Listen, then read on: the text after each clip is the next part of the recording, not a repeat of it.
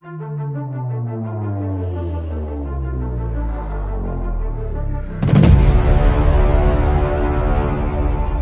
Ukraina dan Rusia pada tahun 1918 diangkat ke sebuah film yang berjudul The Kruti yang rilis tahun 2019.